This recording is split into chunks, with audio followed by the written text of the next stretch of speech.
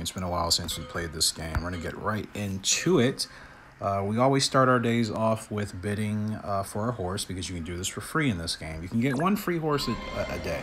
It's not a lot of horse racing games where you can literally get one free horse a day.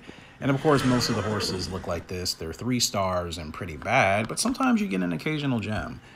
So um, definitely, definitely make sure you're um, you're doing that if you're playing this game. We're just checking a couple of prizes here. 2,800 coins. Welcome the dragon. What does that mean? Not like I'm complaining. I mean, I have enough to buy more teaser fruit as well, and I'm going to spend 30 diamonds for that. I'm just doing some basic um, housekeeping. You guys don't have to be too focused on all that. But okay, let's actually look at our horses and then get ourselves into a race. Usually I try to edit these um, type of videos. I think I'm just going to keep this one rolling today and just try to make sure I'm about business and there's not too much um, dead space, so to speak. So we have six horses we're working with now. Uh, two, well, yeah, two fillies. And then the rest pretty much are colts and uh, eventual studs. So um, let's go ahead and look at Sim Rally, our first horse up here. Sim Rally. Uh, he's four years old and four months. He's a little bit light on the weight, so we need to get that up. He's pretty much maxed out, and he's cl getting close to his prime. He's pretty much at the prime age. So most likely I'll be retiring this guy by the end of this season. Um, looking at his record here, five grade twos, two grade threes. Um, he has eight wins total out of 11 races. So I think this is actually my most consistent horse I've ever had in this game. And he's a horse that I got from breeding my own two horses. Used to sire C's Bran uh, and the Dam Bubble Under. I think that was the first breeding pair I did. And ended up getting Sim Rally. I think I bred those two, or he was just a horse that I acquired through the auction. A horse I definitely own, that's my own horse, is uh, Miracle Wonders here. This is a four-year-old colt, six-star rating, highest uh, star rating you can get for the horse in this game. Uh, again, light on the weight, so I need to make sure I, am getting my horses fed uh, a little bit better to increase that weight. He's in good conditioning. He's ready to roll. He's pretty much maxed out on everything that's important. And um, he's from King de Oro, my sire, and out of my dam, Amora Jewel. So looking at his record, uh, three grade twos, no grade threes, no grade ones. Three wins out of seven races, not bad. He either wins or he finishes worse than fifth. So that's just kind of the deal. But we're going to go ahead and get started, at least with horses that we can race immediately. Um, I would do live races right now, but I'm kind of realizing those are only important to do if you have feel like you have a good chance of winning them. I'd rather do regional races. They may not reward you as much, but if you can stack regional races against the AI and win those, that's going to help your horse develop a lot better than putting them in PvP multiplayer races and then you finish, you know, fifth, sixth, eighth, whatever, right?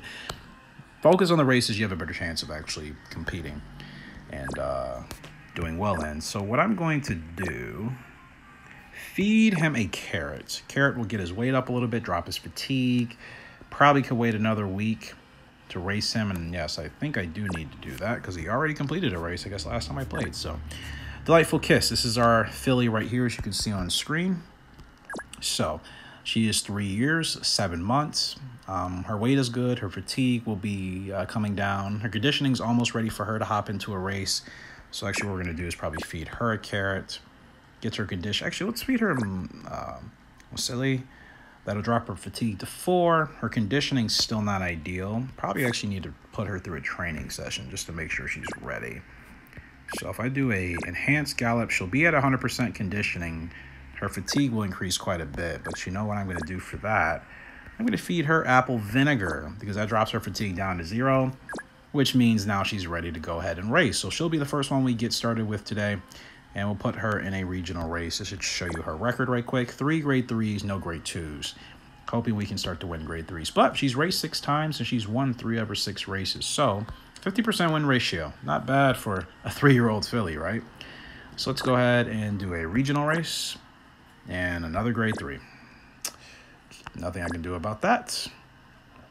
And it's going to be a field of eight running, I did not even check the distance actually. Guess we'll have to wait and see. Probably should have done that beforehand, but either way, hopefully we get this win. And there's our girl, Delightful Kiss. And let's see how she goes. Sorry about that. And we are off and racing. So, It's not the uh, best of starts for Delightful Kiss, but she's sitting there in fourth towards the rail. There's actually another jockey in this race that actually has very similar silk colors to me, so I was going to try to point ourselves out, but since that other jockey looks very similar, I'm just going to wait till the stretch. Skip to the last 400 meters, and down the stretch we come. We're sitting in second place here with Delightful Kiss. We're chasing the leader, as you can see. We are the green cap, pink torso silks with white sleeves and orange with them as well. We also have the uh, the the pink radles, uh, radles, my gosh, the pink uh, reins there. That's why I always try to color. I always try to decorate my horses as much as possible. She gets the win. She gets the win. Congratulations to Delightful Kiss, winning another grade three. Puts her on four for the season. But there's also a reason why I like to just customize my horses with the tack and color I use. I like for them to stand out. You know, like if if I'm making a horse that looks exactly like the others, I just don't really see the point, and it's not my preference. So good win for her, very good win. She's still rated at 110.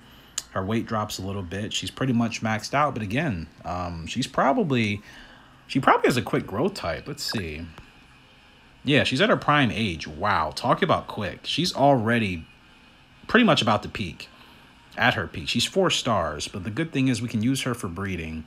Not sure what we'll get from her, but again, just having more custom horses I can use for breeding, that's going to be ideal. In fact, I'll probably do a couple of back-to-back breeding videos in this series uh, coming up within the next couple of days where I'll be retiring some of these horses. I'll play some of this game offline just so I can move through uh, the progression. I'll retire some of these horses and then we'll start breeding.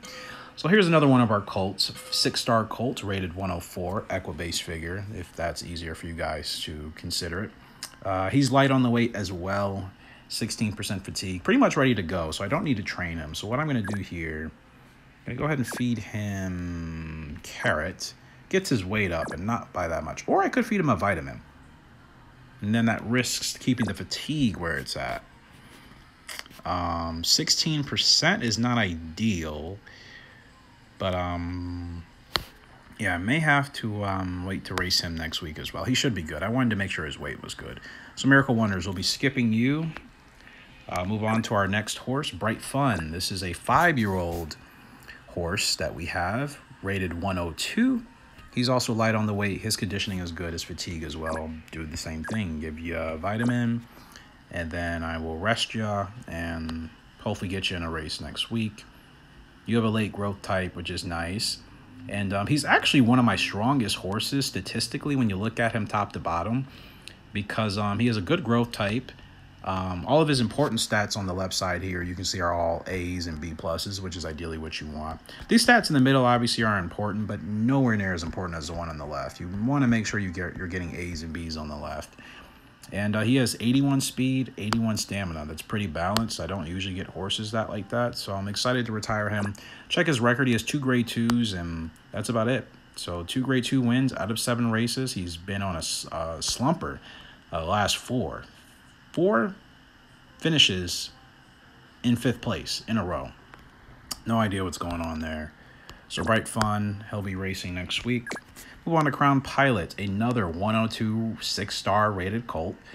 Um, you guys are going to see in the uh, the common trends, right? Most of my horses now are at a decent rate. Now his speed is maxed out at 90, so we have a true uh, true speedster here, at least in regards to just raw speed. Just nice to know. Still has a lot of training to do. His conditioning is not where it needs to be, so I'm going to go ahead and toss him into turf barrier trial here to get that willpower up. Most likely does anything else increase? Not really. I want to do a training session that's going to actually increase several of his stats. Um, willpower so cl clockwise will be maxed out at b. Actually what i'm going to do for this guy i'll stick him to a turf barrier trial and we'll go ahead and run it and there he is right there with the uh, green cap that is our guy so let's look at his tack right quick Yep. Uh, green reins, I still have those in check. No blinkers. Okay. So uh, this guy, Crown Pilot, we will be getting to in a couple of weeks for his race. And last but not least, four-year-old filly. Uh, I'm, I'm going to call her Battle because I, I don't know what her name was supposed to be. And I didn't name her. So I think I just had her spelling. So that's why her conditioning is all the way down. Um, so she'll be good to go. Uh, she looks okay so far. I mean, 72 speed, 71 stamina is not great. So using her for breeding as a mare, she doesn't pick it up soon, I'm probably just going to let her go because I don't want to breed with bad horses at all in this game. I only want to breed with horses that I actually have like a decent uh, winning record. So we'll train her a bit. She does have a later growth type, so maybe she'll start to show us some promise later down the line, but gotta wait till we get there. So let's do a turf gallop. Do we get anything here? No. Turf gallop or barrier. Let's do a dirt barrier gallop. This will drop her weight a little bit. It will get her conditioning to increase by 15%, which is what she needs because I do want to try racing her. But she doesn't look like she's too strong, so I'll probably let her go at the end of this year if she doesn't improve. Okay, so I believe that's everything for this month for all the horses that could race. We'll go ahead and fast forward to the month of May now. I'm in year 11 in this game. And we'll go ahead and uh, I guess continue where we left off and work backwards. So here's, again, our filly, Battle. 90 rated, late growth type. Still trying to figure out more about her. We'll train her again, probably doing the same thing because it seems to work. Her weight is dropping, but we're getting her stats maxed out and we're getting her back into condition for racing. Feed her a carrot just to make sure I keep that weight somewhat uh, reasonable. And she's pretty much done. On to the next. Crown Pilot. Uh, his weight is good, conditioning almost good. Could feed him a vitamin and we'll race him now. In fact, that probably not a vitamin, uh, not a vitamin, excuse me. Um, could do apple vinegar, and that's what I'm going to do. His fatigue drops to uh, zero now because I use the apple vinegar item, which automatically takes your horse's fatigue from wherever it is and uh, reduces it to zero. That way your horse is not fatigued and you can race them immediately. As always, this is just regional races here today because, again, I want to stack these type of wins if I can. Uh, no jockey wants to run on as the closer for us. I'll go ahead and take Anthony D to be our jockey. And field of 10 here this time out. And this is just a quick look at at least some of the horses. But there's our guy right there on screen with the green bridles. Uh, excuse me, green reins, I meant to say. And um, white bandages on the forelegs, but that's about it. Kept them really simple. B plus rated horse here on the turf. So should be the highest horse in this field. Uh, shout out to Dowdery. Carrying a handicap? No. Actually, even field in terms of weight. So go ahead and go to the Grade 2 Florida Stakes and see how our boy Crown Pilot Godolphin Racing, not a great start, but Crown Pilot is a closer, so he will be at the back regardless, so we don't need a good start. And we'll go ahead and forward to the last uh, 400 meters. So here we come.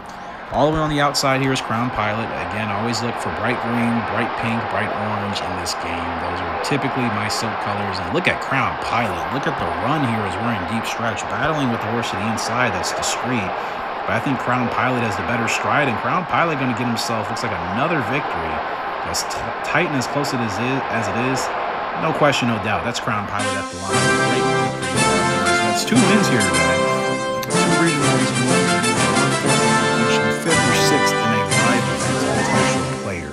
I am way behind where I need to be for multiplayer. I've won races, but uh, that's been one every blue moon, and I was using a different horse that I don't have now. Um, so it's not that I can't win in multiplayer, but I'd rather not waste the time if I can't at least finish in the top three. So great result there for Crown Pilot. He goes from rating 102 up to a 110 rating. So that's eight additional points. Uh, he wins us basically 80 gold as well. His counterclockwise ability improves, so does his willpower. And apparently his stamina improves, even though he's already maxed out. So either way, great result there for Crown Pilot. And again, that's an, a grade two against the AI. And to me, you need those type of results. So let's go ahead and check this. I think that's about good. Um, so probably do one more race here because I think we're making good progress. Um, so Bright Fun. I'm to go ahead and move on to you, and I'm going to go feed you apple vinegar and get you in another regional race as well. And this will be the last one for this video. I am going to be recording a lot of these, so expect these to be split up into uh, smaller uh, parts just so uh, we can make the progress we need to make. Um, but Bright Fun, again, five-year-old horse. We'll go ahead and throw him in a regional race, grade three, going 16 100 meters. He wants to run towards the front. Best jockey I can hire is Vincent, Vincent C., jockey from France. And it's going to be a field of eight. See us with our blue tack here for bright fun, hence the name. Uh, see if we're carrying any handicap. We are carrying a handicap, extra seven pounds. But you see, we're a B plus on the turf, and everybody else is C minus, D plus, and then an E ranked horse, Lovely Giggles. Uh, so this should be our race to win. Let's go ahead and uh, head down to the gate. And we're off and racing. So Bright Fun should be pushing for the lead here, and he does quite quickly. And taking quite off is Bright Fun. Let's go ahead and fast forward to the last 400 meters. Look at that space and that gap. I hope the rest of the field doesn't close. We'll see if Bright Fun has the endurance to hang on. Two furlongs left to go. Bright Fun's still there. There is a charging Lucid Tree in second place. And actually a couple horses now. Here comes I'm the Sea. Furlong left to go. Bright Fun is tiring. You gotta hold on, hold on. Bright Fun, hold on, hold on. I think we're just gonna get there just in time. Yes, Bright Fun just holds on. So three wins in a day. Even when I'm doing regional races in this game, not often I win three races in a day. Technically, two back to back, and almost three back to back. So I think uh, my horses are getting better, and I'm slowly starting to figure out the best way to to improve um, their their winning capabilities. So another great win, and pretty much the same story as last time with our Colt Crown Pilot. This time, our Colt Bright Fun ends up jumping from again a 102 rating up to a 110. Uh, his stats remain virtually unchanged because he's pretty much maxed out. Uh, but again, that's the benefit of having a horse that at least has 81 speed, 81 stamina. You're not awful, you're not the greatest, but you'll be competitive, and that's all I need right now. So actually, one thing I wanted to do is check Crown Pilot's win-loss ratio. I think I forgot to do that. So three grade two wins, three out of three. So Crown Pilot's undefeated. And he just turned four. So this is actually a really good horse I probably stumbled upon. So definitely excited to use him from breeding. And again, he's a colt that I created for my own breeding. So you see the quality of your horses definitely improve if you're going to use your own horses for breeding as opposed to just relying on the auction. And then Bright Fun, there's another win for you. That puts you at two grade twos, one grade three, three wins out of eight starts. And remember, he was on that slumper of five, uh, fifth place finishes. He finally bounces back and gets a win in that grade three. And uh, two horses rated, I think I have two or three horses now rated at 110. Three, I have four horses rated at 110. That's awesome. And all of those four, I think I will be using for breeding most likely. Definitely Sim Rally, definitely Bright Fun, Crown Pilot, Delightful Kiss. I'm a little undecided if I'm going to use her for breeding. Her stats aren't great speed and stamina wise, but she is average across the level at B. And if that's where I'm starting, that's not a terrible starting point. So maybe using her for uh, just maybe a, a couple uh, lines might be okay. That's going to do it for this video, though. Hopefully you guys have enjoyed. We'll continue to make progress. Like I said, stay tuned because within the next episode or two, uh, I'll be doing a lot of breeding, and I will be using uh, the names that you guys have suggested in the Discord for your horses' names. Um, but I'll make sure to remind you guys of that because I'm sure people aren't aware that I do that in this game too. Uh, but we're going to really start taking that a little bit more seriously, and I'm looking forward to it. So appreciate you guys for love and support. As always, feel free to leave your thoughts in the comment section below. And until next time, HRG signing out. Hope you all have a great, fantastic day. I'll see you later.